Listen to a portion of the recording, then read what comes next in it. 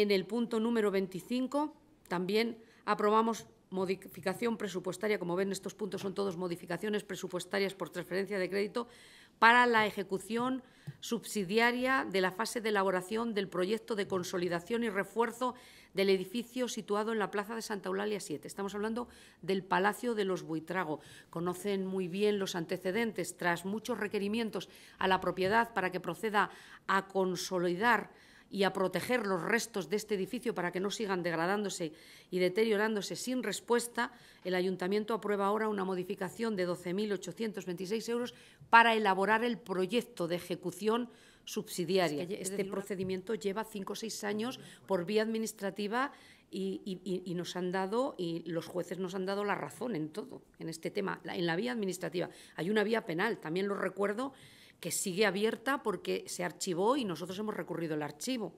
Pero por vía administrativa el juez nos ha dado la razón en todo momento desde hace cinco o seis años. Entonces ya se están poniendo penalidades. Si el ayuntamiento tiene que hacer la intervención de manera subsidiaria, tendrá que iniciar a la vez un procedimiento de embargo, porque de alguna manera nos tendremos que cobrar eh, lo que cueste eso, que no va a ser una broma. ¿eh?